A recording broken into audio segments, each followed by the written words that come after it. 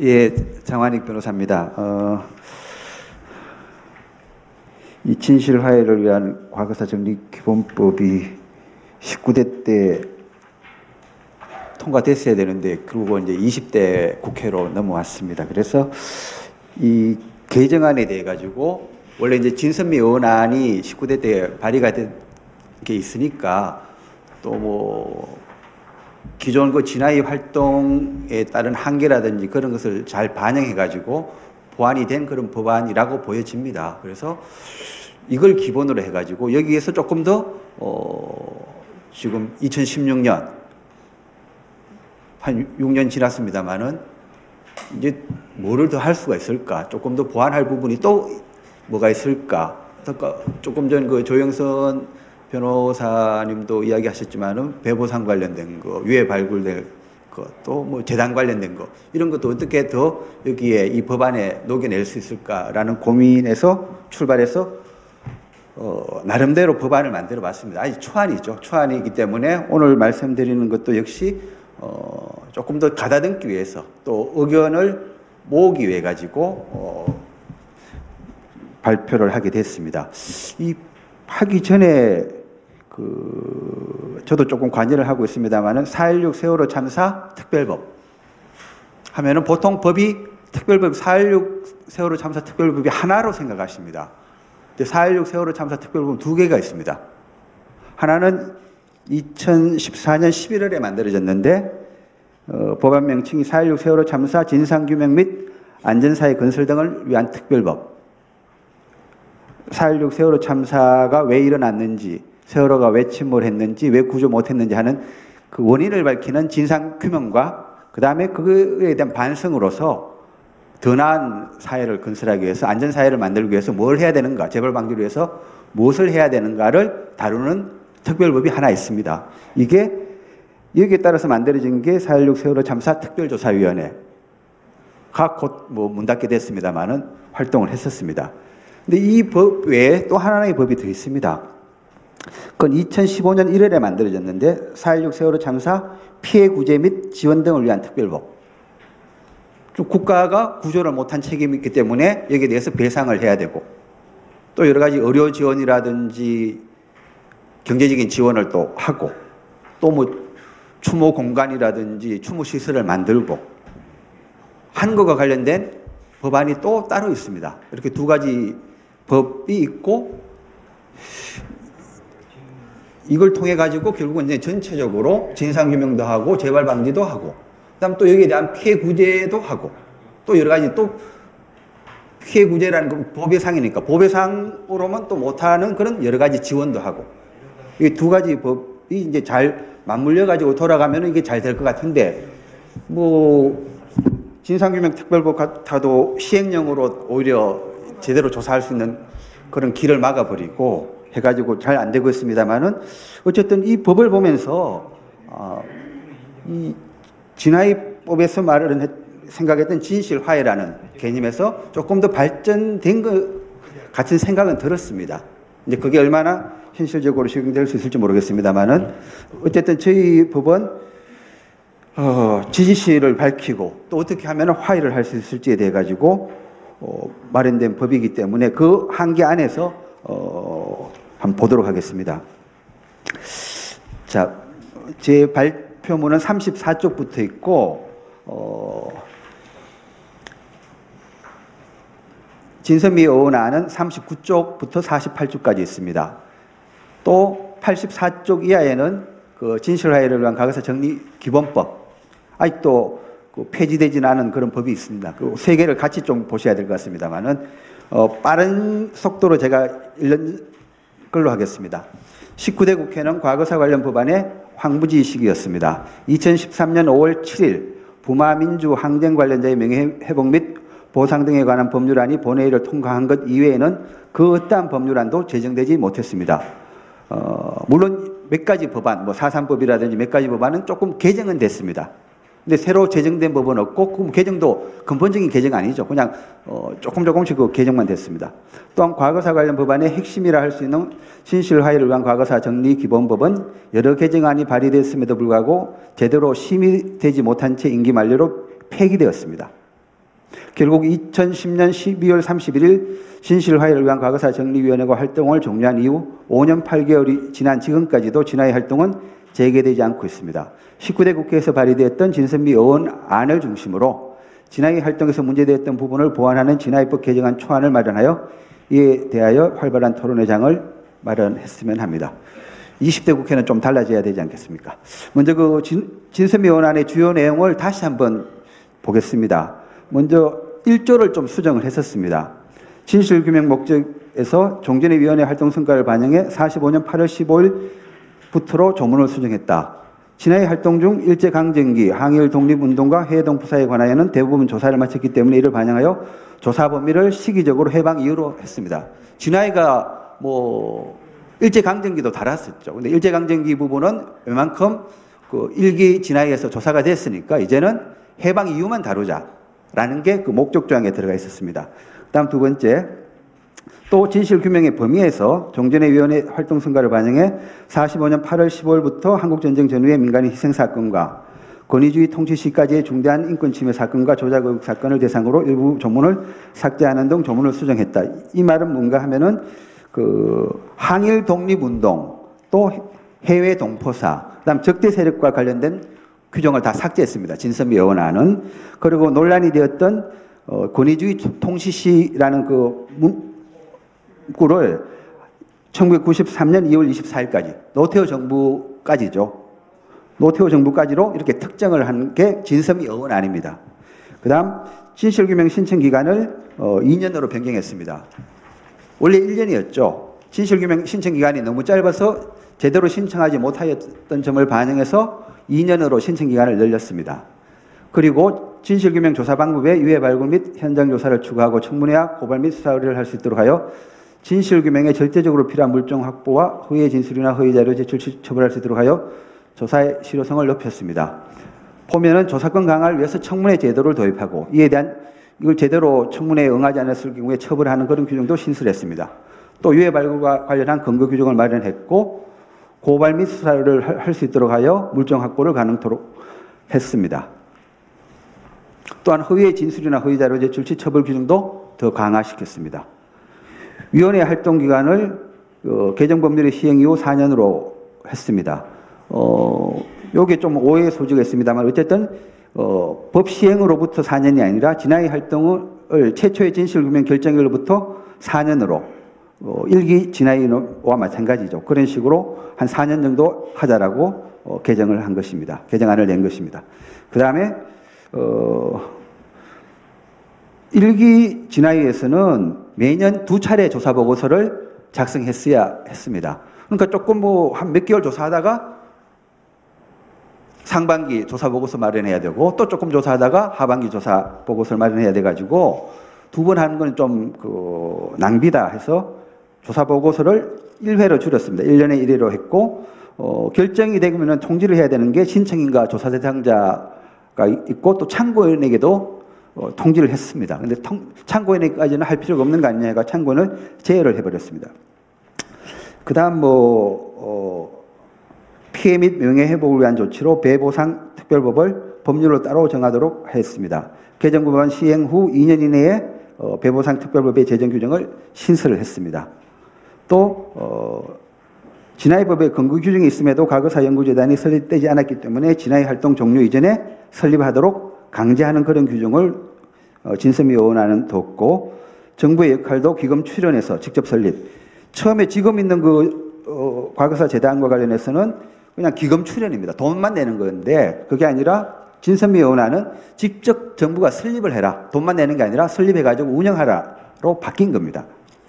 그 다음 재단의 사업도 진화의 종료 후 유해 발굴, 봉황과 트라우마 치료, 교육 연구 등 다양화했습니다. 이게 진선미 의원 아니었습니다.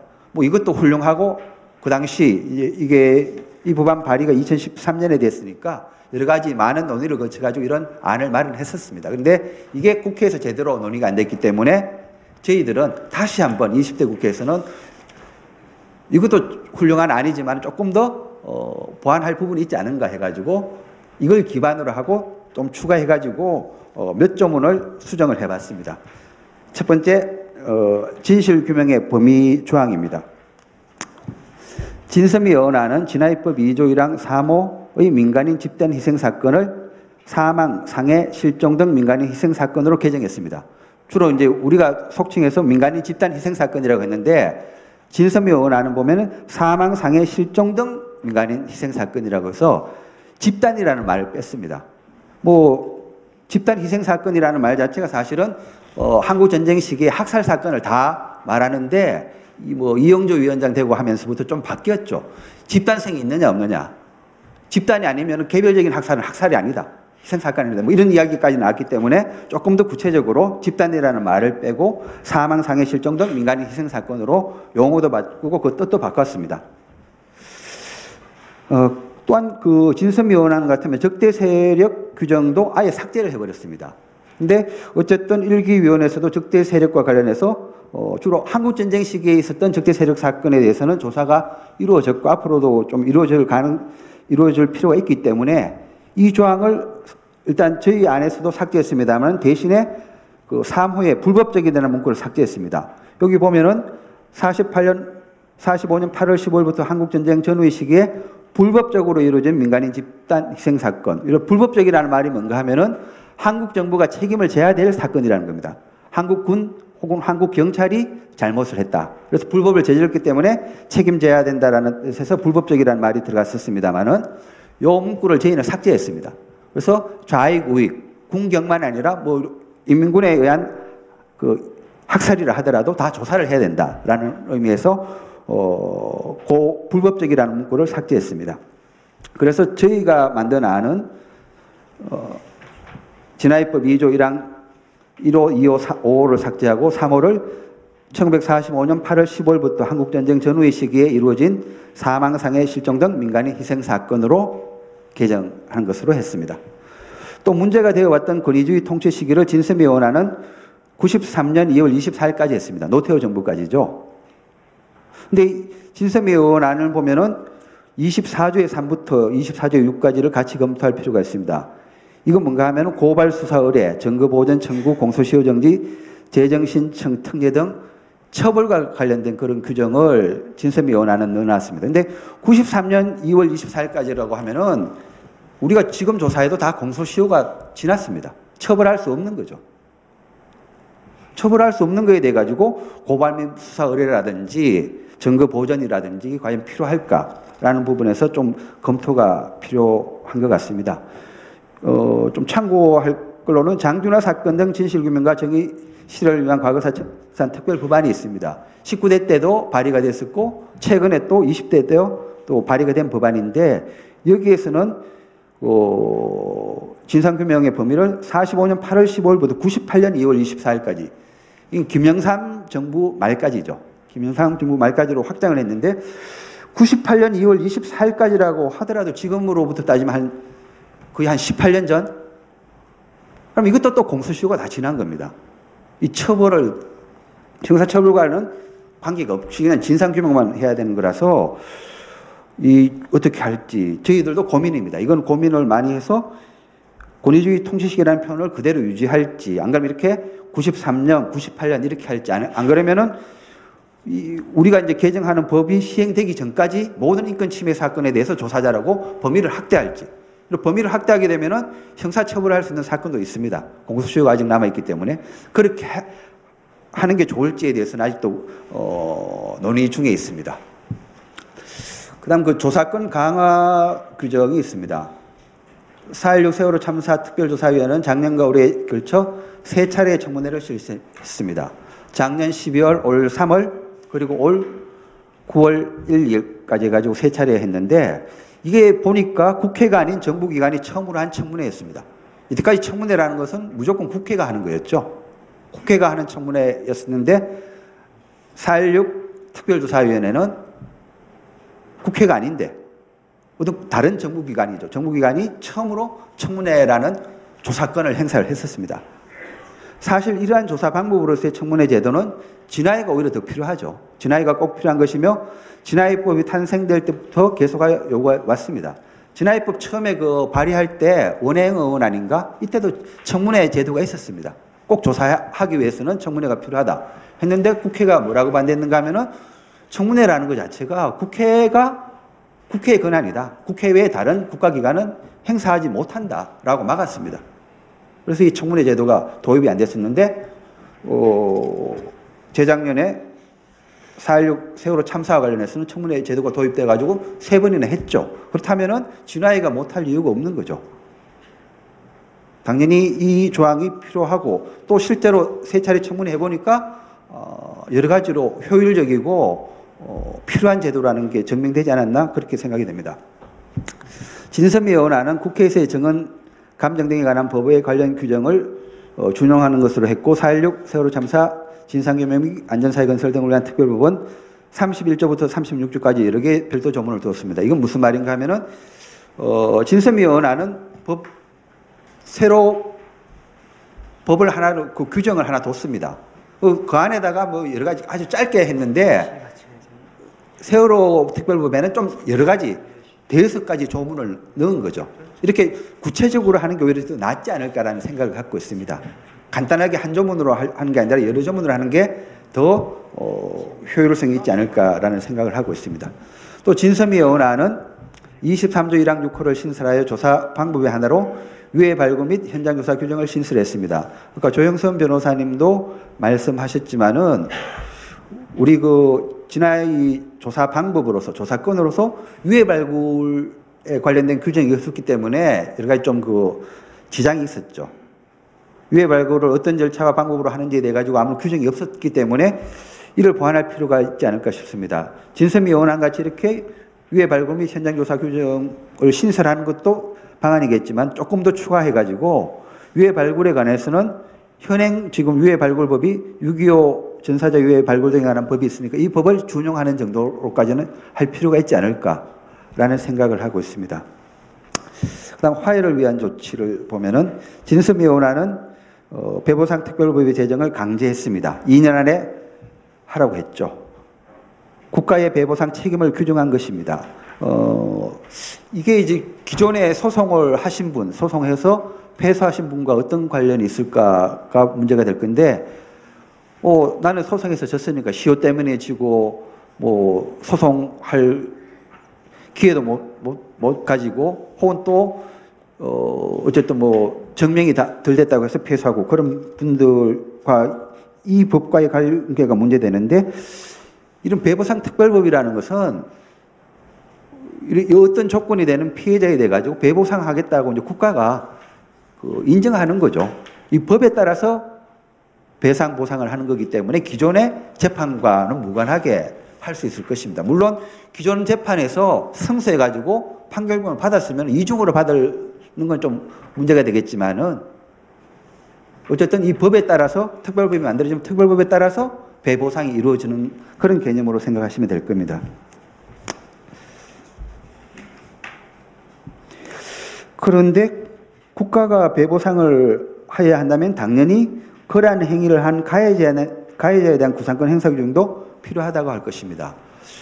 뭔가 하면은 국가가 배보상을 하면은 그 책임을 졌던 사람들, 가해자, 가해자에 대해 가지고 가장 뭐 필요한 것은 처벌까지 가능하면 좋겠습니다만은 공소시효 때문에 처벌이 불가능하다라고 하면은 민사적으로라도 국가가 이렇게 배상한 부분에 대해서 가해자들이 민사적인 책임은 져야 되지 않느냐 해가지고 구상권 조항을 뒀습니다. 그래서 36조 4망으로 정부는 가해자에게 고의 또는 중대한 과실이 있으면 그 가해자에게 구상권을 행사해야 한다. 이건 보통 다 국가배상법에 있습니다. 국가배상법에 이런 조항이 있습니다.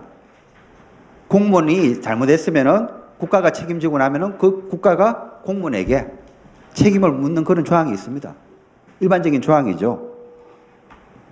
또 4.16 세월호 참사 피해 구제법에도 이렇게 구상권 행사 조항이 있습니다. 잘못했던 구조를 잘못했던 그런 공무원에게 책임을 물으라. 라는 조항이 있습니다. 근데 이 조항이 제대로 실현된 적이 없습니다.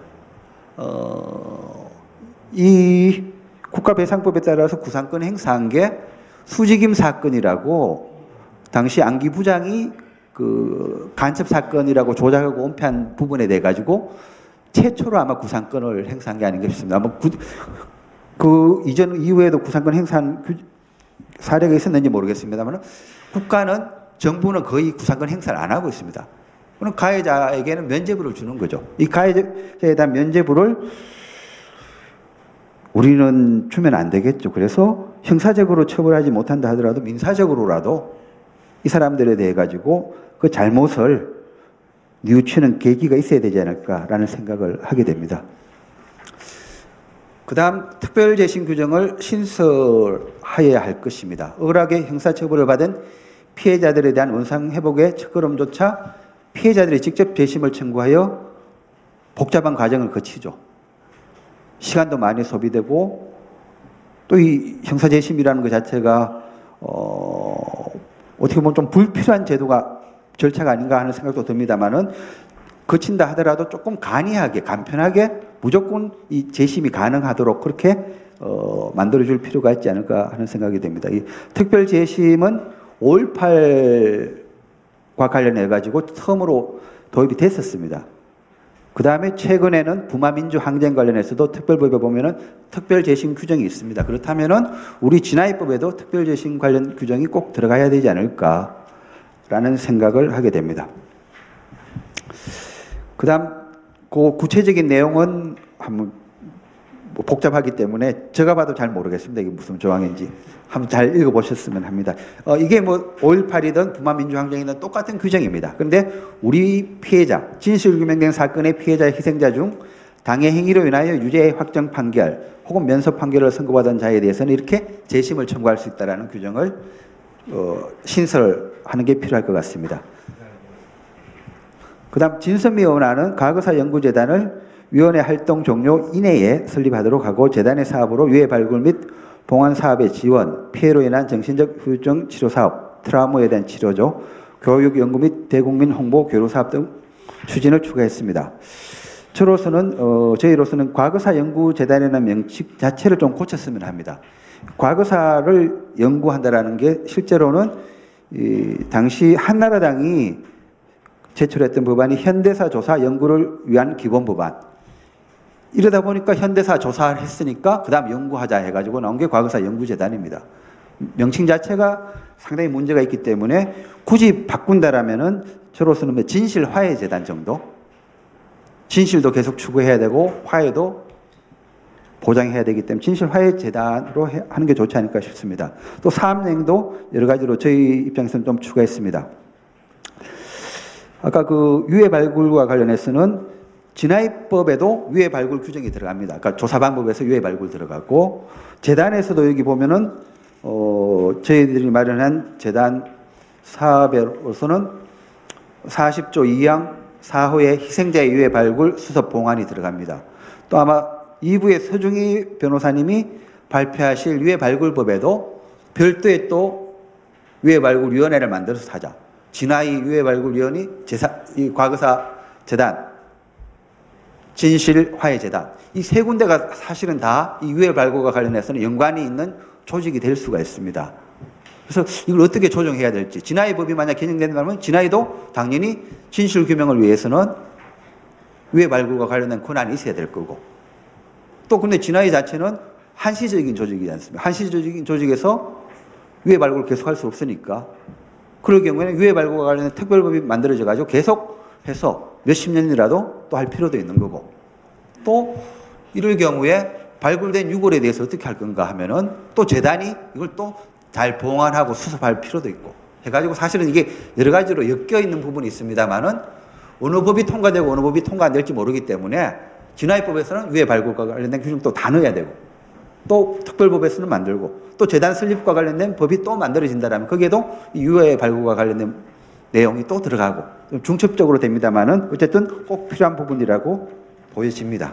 그래서 진화이가 해야 될, 아, 그, 진실화해 재단이 해야 될 뭐 사업으로서는 여기 몇 가지 열거했습니다. 인권 교육도 있고, 있고 국제인권법, 인도법 교육, 추가적 조사 연구, 희생자 유해 발굴, 추도 사업, 기념 사업, 사료관 및 박물관의 건립과 운영, 뭐 여러 가지 그 사업을 열거를 했습니다만은 사실은 이거보다 또, 또 필요한 게 있다라면 또 추가는 얼마든지 가능하지 않을까라고 생각합니다.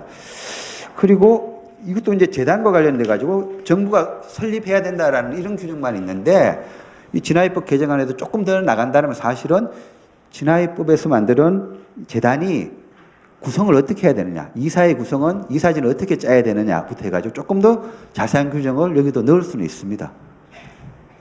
더 좋은 건 어쨌든 또 재단 설립과 관련한 특별법이 제정되는 게 좋습니다만은 진화입법으로만 한다라면 이 규정만으로는 사실 부족, 부족한 것 같고 조금 더 어, 치밀하게 이 규정도 만들 필요가 있지 않을까라는 생각을 갖고 있습니다. 어, 결론을 말씀드리겠습니다. 우리는 진화의 활동이 종료된 이후 진화이가 마련하였던 여러 가지 권고 사항이 정부 차원에서 단 하나도 제대로 이행되지 않은 현실을 보면서 진화입법 개정을 통한 제2기 진화이가 미진하였던 진실규명 활동을 이어나가고 또 화해 사업의 일환으로 배보상 특별법의 제정, 또 진실화해재단 설립, 위해 발굴과 추도 사업 등을 체계적으로 진행할 수 있기를 바라고 있습니다. 이를 위하여 진화입법을 개정한 것만으로 부족한 경우에는 개별 입법을 통한 해결도 생각해 볼 수 있습니다. 배보상 특별법, 화해재단 설립법, 위해 발굴 특별법. 이를 위한 논의의 출발점으로 어, 먼저 진화입법 개정안을 마련했습니다. 법안 명칭, 법안 명칭도 보면 과거사 정리기본법이라고 되어 있는데 아까 말씀드렸듯이 이게 당시 한나라당이 뭐 현대사 조사하고 연구하자고 하다 보니까 정리, 과거사 정리라는 말을 썼는데 뭐 최소한 과거사 청산 기본법으로 하든지 법안 명칭도 저로서는 사실 좀 바꿨으면 하는 생각도 들고 진화의 구성도 어 지금 이 구성대로 기존의 뭐 대통령이 4명 지명, 국회에서 8명, 대법원장 3명인데 진화의 구성에 대해서도 조금 더 바꿀 필요가 있지 않을까 하여튼 여러 가지 어, 개인적인 생각이 있습니다만은 조금 더 논의가 필요하지 않을까라는 생각을 갖고 있습니다. 어, 국가폭력에 대한 청산 작업이 보시다시피 더 이상 미뤄져서는 안 되리라 생각합니다. 진실을 은폐하고 또 국가폭력의 그 청산, 과거사 청산을 막는 것은 그 자체가 또한 새로운 또 국가폭력이 되지 않을까. 2차 국가폭력이라고 보기 때문에 지금 20대 국회에서는 뭔가 달라져야 된다라고 생각하고 있습니다. 이상입니다. 네, 수고하셨습니다.